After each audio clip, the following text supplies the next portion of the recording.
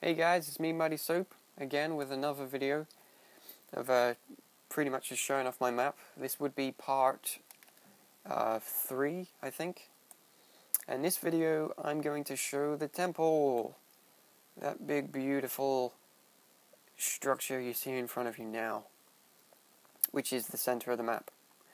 Now, last video, um, I showed the right side, which is this bit here, and I flew around all of the caves and stuff. So, yep. I did that last video. But this video, it's all about the temple. Now, I've dedicated one video, one entire video to the temple because it is big. It's huge. It's massive. So, I'm just going to walk around instead of flying around just to give you this sense of scale. You can't really get that when you're flying around. So, it's pretty big looking at it, it makes you feel small and pathetic. But coming up here, this is one of the main entrances, which is there's one on each side. There's, excuse me, there's another one, and there's a bunch of ways in and out of this place. There's a capture point here for the Transmission mode. Uh, these stairs, if I quickly run down, they lead to the cave, which I have shown briefly in the other videos. This cave is the cave that you jump down to from those those bits above us, I guess. Um, but just to show it off in a bit more detail and to tell you where I'm going with it, uh, this we're directly below the temple right now right below it. You can actually jump down. If you're inside the temple, you can jump down from up there. You do hurt yourself, however. I might try and fix that so you don't hurt yourself as badly when you fall down. But this bit's caved in. Uh, there was originally a staircase here, but I had to delete it to make room for other stuff. Um, but anyway, uh, I've yet to add a bunch of waterfalls here, which I don't think I can even do.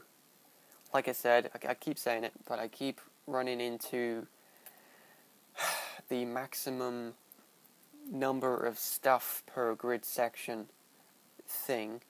That keeps pissing me off. So I'm having to shift a bunch of stuff around. But let's get back upstairs. Do, do, do, do, do. Run up here. And this this would be a really good defensive position. If you're playing team deathmatch, this would be the place to go. Because you can just hold the high ground. Uh, and that's kind of how I designed the map, is to make this spot the place to be. Because um, you have a height advantage. It's not the perfect place to be, because there are so many areas you can get shot from. But it's it's a, definitely a good vantage point. You know, you can see most of the map from this area. Um, I'm thinking of adding a zip line here and trying to put it down there, saving you running all the way around.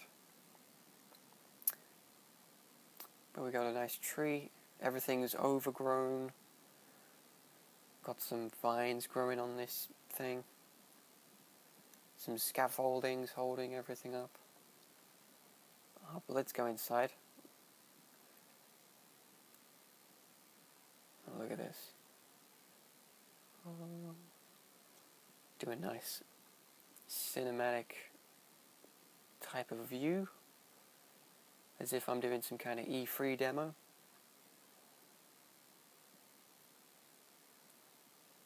But it's cool.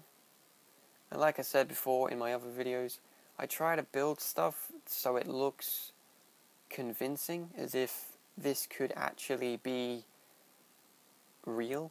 Like it's like the reason to the supports, like these um, columns, these pillars, is not to just to look good, but you know it, it it gives a sense of realism, and you get the feeling that this building could actually be real. Like if you if you came here in real life and you, I, I try to get the illusion that this place could be real you know.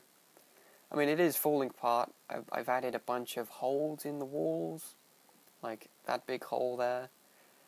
But I've tried to do it in a way so that it looks all eroded and it's falling apart, which is why I've added a bunch of like holes, uh, cracks and stuff in the floor as well, like this here. It's all crumbling away, which I think is pretty cool. Now, we were just down there. That's the cave. You can drop down there.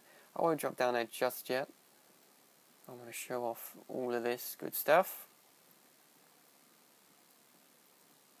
Now, like any good map creator, they try to focus on the details. And so I got like a little, a little offering, a little shrine, which is cool. So this place would be like a place of worship, if you would um, which is nice. I've got some scaffolding coming up here. This would be another way in to the temple. Gives you a nice little vantage point as well across the, the land there. Going back inside. If I just drop down. Drop. I've got a cave back here. And it's only small, it's not big and I forgot to save it because there should be a rock here but I forgot to save it. Um, so yeah you got a nice little vantage point. There is a capture point in this point in the map. It's a nice hole in the wall you can walk in. And that's where we jumped down in a previous video So yeah, that's pretty much it for the temple, I think. Have I shown? Oh no, I haven't shown the back entrance. There's a ladder there, there's a nice dragon skull. You can come in through the back. And this is where that staircase was that I mentioned previously. Uh, in the cave below us. Um, but there's there's an entrance to the temple here which I'll quickly run through and it leads you to the left side. And then it's the same again on the other side. It, it, it, this map's kind of symmetrical in a way, and this leads you to the caves, the big caves, which just leads off. So, again, I'm going to end the video here. Thanks for watching. Uh, again, leave a like if you liked what you saw. Uh, leave a comment.